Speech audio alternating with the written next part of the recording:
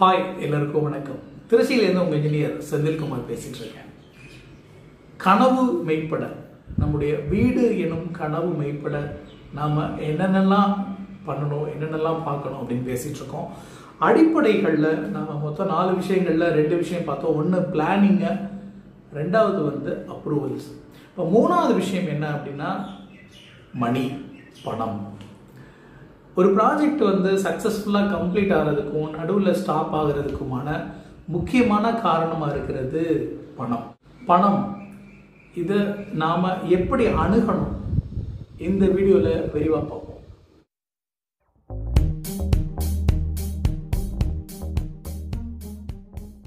ஒரு ப்ராஜெக்ட் ஒரு வீடு ஒரு கனவு ஆரம்பித்து நடக்கிற அந்த ப்ராசஸ் வந்து பாதியில் நிற்கிது எங்கேயாவது நிற்கிது அப்படின்னா அதுக்கு more than seventy five percentage காரணம் என்ன அப்படின்னா பணம் தான் இந்த பணம் வந்து நம்ம கரெக்டாக நம்ம வந்து பிளான் பண்ணாமல் போயிட்டோம் அப்படின்னா அதனால நம்முடைய இந்த ப்ராசஸ் வந்து ஸ்டாப் ஆகுறதுக்கு நிறைய வாய்ப்புகள் இருக்குது ஸோ இதுக்கு முக்கியமாக நமக்கு வேண்டியது ரெண்டு விஷயத்தில் தெளிவு.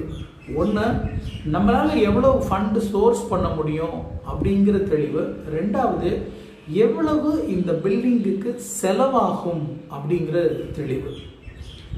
இதில் முதல் விஷயத்தில் நாம் பெரும்பாலும் சரியாக தான் இருக்கிறோம். அதாவது நம்மக்கிட்ட எவ்வளோ கேஷ் இருக்குது நம்ம எவ்வளோ லோன் போக முடியும் எவ்வளோ அரேஞ்ச் பண்ண முடியும் ஆர்கனைஸ் பண்ண முடியும்.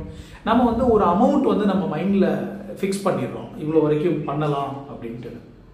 ஆனால் ஆக்சுவலாக இந்த வீடு கட்டுறதுக்கு எவ்வளவு செலவாகும் அப்படிங்கிறதுல நமக்கு முழுமையான தெளிவு இல்லை அப்படிங்கிறது தான் உண்மை. மொத்தமாக எப்படிலாம் செலவாகும் அப்படிங்கிறது ஒரு அஞ்சு விதமாக நம்ம பிரிச்சுக்கிட்டா எளிமையாக இருக்கும் அப்படின்னு நினைக்கிறேன். ஃபஸ்ட்டு லெவல் வந்து இந்த அப்ரூவல் இந்த ஃபஸ்ட்டு முன்னாடியே இந்த போர் போடுறது இந்த இபி சப்ளை வாங்குறது இந்த மாதிரியான ப்ராசஸ் பிளான் போடுறது சம்திங் இதெல்லாம் வச்சுக்கோங்க. இது ஃபஸ்ட் லெவல் அதுக்கான காஸ்டிங் ரெண்டாவது மெயினான construction cost square feet rate எவ்வளோன்னு பேசி டோட்டலாக அந்த ப்ராஜெக்ட்டுக்கு எவ்வளோ காஸ்ட் ஆகுது அப்படிங்கிற விஷயம் இது ரெண்டாவது. மூணாவது விஷயம் அடிஷ்னலாக எது எதெல்லாம் செலவு வருது அப்படிங்கிறது. இந்த கன்ஸ்ட்ரக்ஷன் காஸ்ட்டில் ஸ்கொயர் ஃபீட் ரேட்டில் எது எது வரும் எது எது வராது அப்படிங்கிற ஒரு தெளிவான பார்வை நமக்கு வேணும். அதை அவங்கக்கிட்ட தெளிவாக கேட்டுக்கணும். இப்போ உதாரணத்துக்கு வந்து septic tank over tank compound wall இந்த மாதிரி விஷயங்கள்லாம் காமனாக இன்க்ளூட் பண்ணி யாரும் பண்ணுறதில்ல ஏன்னா அதெல்லாம் வேரியபிள் ஐட்டமாக இருக்கிறதுனால. ஸோ இந்த மாதிரி எது எதெல்லாம் தனித்தனியாக வரும் அப்படிங்கிறத நாம் விசாரித்து தெரிஞ்சுக்கிட்டு அதுக்கான காஸ்ட் என்ன அப்படிங்கிறத அரைவ் பண்ணிக்கணும். இது மூணாவது விஷயம்.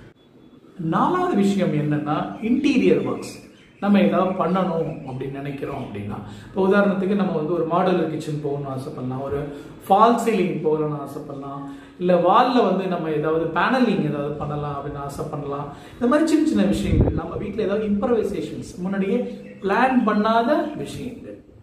ஸோ இந்த விஷயத்த வச்சுக்கலாம். இந்த மூணாவது விஷயமும் நாலாவது விஷயமும் அதாவது இந்த அடிஷ்னலாக வரக்கூடிய காஸ்ட்டு என்னென்ன விஷயங்கள் அப்படிங்கிறது அப்புறம் இந்த இன்டீரியர் ஆக்டிவிட்டிஸ் இது ரெண்டில் எந்த விஷயமும் கூடுதலாக சேரும் அப்படின்னா இப்போ நம்ம கன்ஸ்ட்ரக்ஷன் காஸ்ட்டு இவ்வளோதான் ஸ்கொயர் ஃபீட் ரேட் அப்படின்னு சொல்லிட்டா அதில் சட்டன் மெட்டீரியல்ஸு சட்டன் ப்ரைஸ் பாயிண்டில் தான் ஆப்ரேட் பண்ணுறத கான்ட்ராக்ட் நமக்கு தெளிவுபடுத்தி இருக்கணும். உதாரணத்துக்கு இப்போ டைல்னா டைல் வந்து say fifty rupees per square feet இந்த டைல் தான் ப்ரொவைட் பண்ணுவோம் அப்படின்னு சொன்னாங்க அப்படின்னா நாம் டைல் போகாமல் ஒரு கிரானைட் போகிறோம் இல்லை மார்பிள் போகிறோம் இல்லை டைல்லையே வந்து காஸ்ட் கூட உள்ள டைல் மாதிரி போகிறோம் அப்படின்னா அந்த காஸ்ட் டிஃப்ரென்ஸ் வேறு இருக்குது ஸோ இதையும் நாம் மைண்டில் வச்சுக்கணும். அஞ்சாவது விஷயம் எது அப்படின்னா இந்த நம்ம மெயினான ஆக்டிவிட்டி கம்ப்ளீட் பண்ணதுக்கப்புறம் இன்டீரியர் ஒர்க்ஸ் இதெல்லாம் முடிச்சதுக்கப்புறம் நம்ம இந்த பேனல் போர்டு இவி சப்ளை அதை ஃபைனல் பண்ணுறது இந்த செப்டிக் டேங்கோட கனெக்ஷன் அதை முடிக்கிறது. அப்புறம் நம்ம வந்து இந்த கிரக பிரவேசத்தையே நம்ம வந்து அது வந்து நிறைய பேரை கூப்பிட்டு பண்ணுறோம் அப்படின்னா அதுக்காகக்கூடிய செலவு. இந்த மாதிரி விஷயங்கள்லாம் சின்ன சின்ன விஷயங்கள் எது இதெல்லாம் மிசலனேஸாக வரும் சில விஷயங்கள்லாம் நம்ம அவாய்ட் பண்ண முடியாமல் வரும். அந்த மாதிரி இதெல்லாம் என்ன காஸ்ட் வரும் அப்படிங்கிறத நம்ம பார்த்துக்கலாம். ஸோ இந்த அஞ்சு விஷயங்கள். இந்த அஞ்சு விஷயத்தையும் நாம் அனலைஸ் பண்ணி ஒட்டுமொத்தமாக எடுத்துட்டு இதை விட கூடுதலாக ஒரு பத்து பர்சன்டேஜ் குஷன் இருக்கிற மாதிரி வச்சுக்கிட்டு தான் நம்ம ஒர்க்கையே பிளான் பண்ணணும். ஏன்னா இந்த எஸ்கலேஷன் அப்படிங்கிறது நாம் ஐடியா பண்ணுற சில விஷயங்களில் இருக்கிறத தாண்டி சில நேரங்கள் கூடுதலாக போக வாய்ப்பு இருக்குது அந்த கூடுதலாக ஆகிறதுக்கான வாய்ப்பு வந்து நம்ம வீடு வேலையை வந்து நிற்க வைக்கிறதா மாறிடக்கூடாது. அதுக்கு நாம் தயாராக இருக்க வேண்டியது முக்கியம். ஸோ இந்த அஞ்சு விதமான அடிப்படைகளில் இந்த காஸ்ட் என்னென்ன வரும் என்னென்ன மாதிரி நமக்கு செலவு வரும் அப்படிங்கிறத அனலைஸ் பண்ணி அதை விட கூடுதலாக ஒரு பத்து பர்சன்டேஜ் பணம் நம்ம ரெடி பண்ணி வச்சுக்கிட்டு நாம் நம்மளுடைய வீடு கட்டுற ப்ராசஸை நம்ம அணுகும்போது இந்த அடிப்படையில் நாம் தெளிவாயிடுறோம் அப்படின்னு அர்த்தம். அங்கே நமக்கு தடை இல்லாமல் நம்முடைய வேலை நடைபெற நூறு சதவீத வாய்ப்பை நம்ம உறுதிப்படுத்துகிறோம் பணத்தை பொறுத்து.